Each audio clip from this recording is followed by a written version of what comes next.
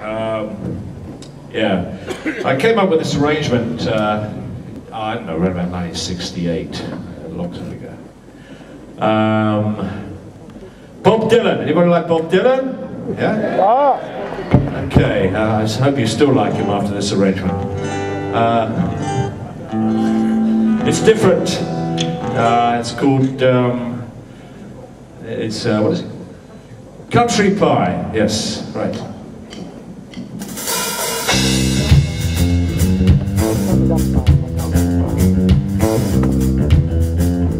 por favor.